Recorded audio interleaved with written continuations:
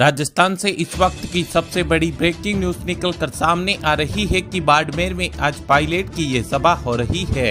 इससे पहले सचिन पायलट बाड़मेर में वीरेंद्र धाम का उद्घाटन किया। वीडियो में आगे बढ़ने से पहले वीडियो को लाइक चैनल को सब्सक्राइब ज़रूर कीजिएगा। अब वे कुछ देर बाद विशाल जनसभा को संबोधित करेंगे।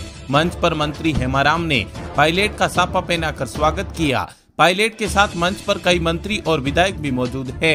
राजस्थान के कैबिनेट मंत्री हेमाराम चौधरी और उनकी बेटी सुनीता ने अपने भाई की याद में 25 करोड़ की लागत से ये हॉस्टल बनवाया है। पढ़ाई की सभी सुविधाओं से युक्त ये हॉस्टल बच्चों के लिए निशुल्क उपलब्ध होगा।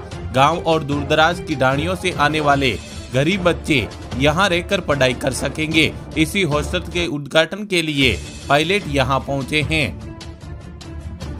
इस दौरान उप मुख्यमंत्री सचिन पायलट ने श्री हरलाल जाट छात्रावास पहुँचे, जहाँ पर उन्होंने स्वर्गीय हरलाल जाट की तस्वीर पर माल्यार्पण कर उन्हें श्रद्धांजलि अर्पित की और उसके बाद वन एवं पर्यावरण मंत्री हेमाराम चौधरी के बेटे वीरेंद्र चौधरी की स्मृति में नवनिर्मित वीरेंद्र धाम छात्रावास लोकार्पण कार्यक्रम में पहुँचे।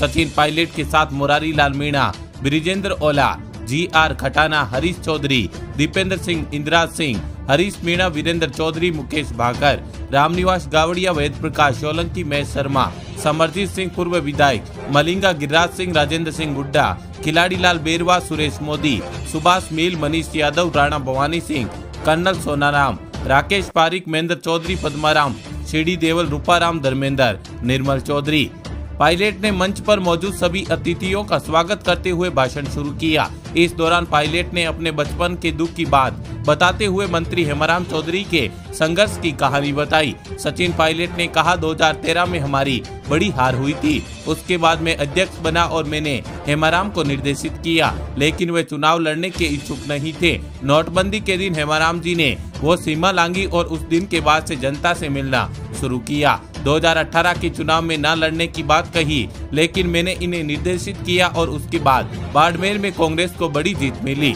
सचिन पायलट ने किसान के संघर्ष की बात को लेकर कहा कि जिस दिन गरीब किसान का बच्चा पढ़ लिख कर आगे बढ़कर अपना हंग मांगते हैं, संघर्ष करते हैं, लेकिन उन्हें मिलता नहीं। उसके लिए उस पद पर बैठना ज़रूरी है। पायलट ने पेपर लीक का ज़िक्र किया। साथ ही दिल्ली में पहलवानों के धरने को लेकर भी सत्ता में बैठे लोगों पर निशाना साधा। नौजवानों को प्रतिस्पर्धा और मौके मिलने की बात कहते हुए पायलट ने कहा कि जब नौजवानों को मौका मिलेगा तो तस्वीर बदलेगी। पायलट ने कहा, आने वाला समय आप सबका है। हमें आने वाले समय में तमाम संभावनाओं को पूरा करना है। सचिन पायलट ने कहा कि मैं भ्रष्टाचार के खिलाफ लड़ाई लड़ता रहूँगा। भले ही कुछ लोगों को अच्छा लगे या बुरा लगे, भ्रष्टाचार समाज को दिमक की तरह खाई जा रहा है और हम सबको इसके खिलाफ लड़ना चाहिए। पायलट ने कहा कि राजस्थान में जब पेपर लीक होता है तो तकलीफ़ होती है, क्योंकि युवाओं का सपना बर्बाद होता है। हमें इसे रोकना होगा। पायलट ने जंतर मंतर पर बैठे पहलवानों के लिए बोलते हुए कहा कि आज देश के लिए मेडल लाने वाले सड़क पर संघर्ष कर रहे हैं। ये समय हम सब के लिए उनके साथ खड़े होने का है।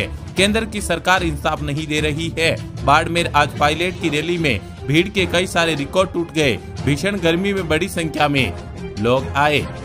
राजनीति की सलाह देने वालों के बारे में पायलट ने कहा, मैं सबकी सुनता हूँ। उसके बाद मैं शाम को हेमाराम जी से बात करता रहता हूँ। पूछता हूँ, क्या करना है? मैं हेमाराम जी से सलाह लेता रहता हूँ। मैं चाहता हूँ आपका मार्गदर्शन हमेशा मिलता रहे और हम आपके पीछे खड़े रहे। दोस्तों, वीडियो को शेयर, चैनल को सब्सक्राइब ज़रूर करें। धन्यवाद।